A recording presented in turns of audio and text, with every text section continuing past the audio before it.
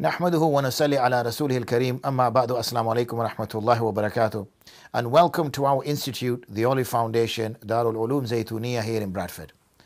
Just to give you a short history um, we started way back in so around 2004 2005 and we started in a uh, rented accommodation, four, five rooms, six rooms, a, a large detached property with about 40 pupils and about five teachers. It was a boys' school originally, but within within a few weeks and months, we had applications for a girls' school. So eventually, we needed to start a girls' school, and we ended up in these premises here, which you've probably seen the clips of, uh, as is as is being discussed. And uh, we bought this, and when we bought it originally, we had to borrow a lot of Qarda Hasana in order to buy it. Uh, once we bought it, obviously the building we bought was in a serious level of disrepair and then we had to borrow more money in order to bring this uh, building up to standards. We now have at this building two schools, Olive Secondary Boys School, Olive Secondary Girls Schools. We have two elementary academies in which we teach uh, both Qaida, Nazira and Hifz class. And also now we have the higher academy in which we teach the Alamiya, which is the eight-year course of the full Alim course. We have had, Alhamdulillah, over the years, 30 odd students becoming Hafiz of Quran who are now leading Taraweeh up and down the country and outside of the country.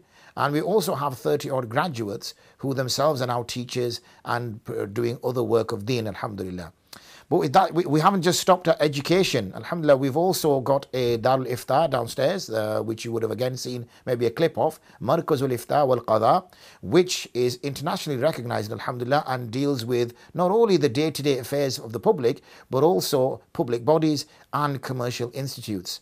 And similarly, we have a research center, which is the Institute for the Revival of Traditional Islamic Sciences, in which we carry out thorough research on various topics. And I advise you to go onto the website to have a look at what we've done. We have obviously grown and grown and grown, and now we've grown because the need of the community is there to provide for the community. So we want to continue to provide for the community. But as you can see with the building, which was built in 1905, few years older than me, is a building which genuinely runs into uh, disrepair. So maintaining a building of this size is expensive, especially being a grade two listed building in which we have to ensure that the same materials uh, are used when we're replacing old material, which can, again can be very expensive. Similarly, we have still got outstanding cars left, some going back nearly 10, 15 years when we were first brought about, which we really need to give back. Uh, people have been asking for it last year and the year before, and unfortunately we've not been in a position to pay it. So in total, it's a big grand sum of around £280,000. However, our immediate needs are in the region of, I think, 30 to 40,000. But any can help. You can, you know, any amount of money that's given will assist us in continuing to provide this service because apart from the educational services we provide, the, all the other services are provided for free and helping people in difficult circumstances to overcome their issues and be able to live their lives according to Islam. So uh, assist Allah subhanahu wa ta'ala will reward you. You will benefit the community not only in Bradford, but in the UK and beyond. And also, it will be your sadaqatul jariyah, in which you will continue to get ajr uh, either for yourself or for a deceased loved one that you can give for, so that they continue to get the reward as we continue to do our work.